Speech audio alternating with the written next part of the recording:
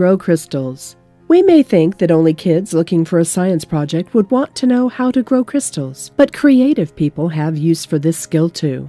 Grown crystals can be used creatively. They can be used for jewelry for school or church plays, especially during the holidays. Colored sugar crystals can be used to make baubles that help actors look the part of royalty or the rich. Crystals also make lovely holiday decor for trees, wreaths, or gifts. Growing crystals is easy. Listen to how to do it. 1. Prepare your materials 1 cup of water, about 3 cups of sugar, some food coloring if you want colorful crystals. For equipment, you will need a stove, a pot to boil the water in, a glass jar. A mason jar will suit the purpose really well. A teaspoon, a long piece of string, a pencil, and a paperclip, optional.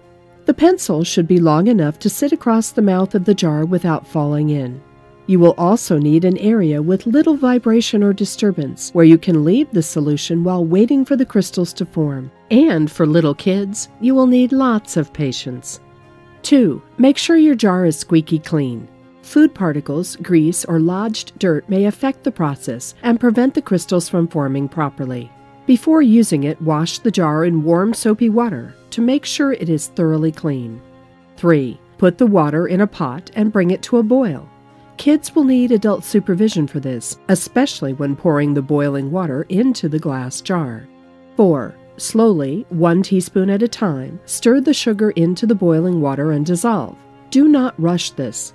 Each time, make sure the sugar is dissolved completely before adding the next teaspoonful.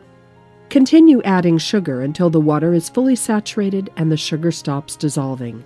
You will see it begin to gather at the bottom of the jar. Your solution is now ready for the next step. 5. If you want colored crystals, this is the time to add a drop or two of food coloring. Use one color per jar. Adding different colors or too much food coloring to a single jar will likely result in a muddy color. 6.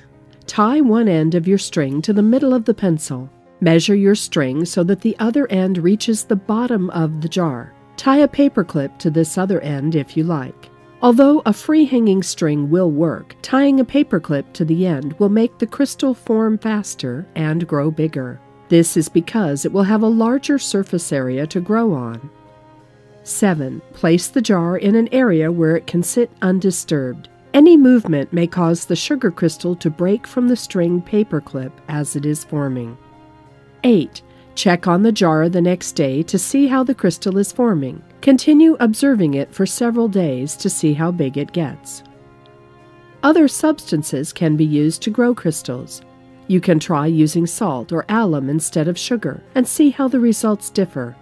Although the resulting crystal will be fragile, and may not sustain prolonged active use, you may enjoy watching it form into strange shapes. Try out the steps we've given to learn how to grow crystals and start a crystal garden.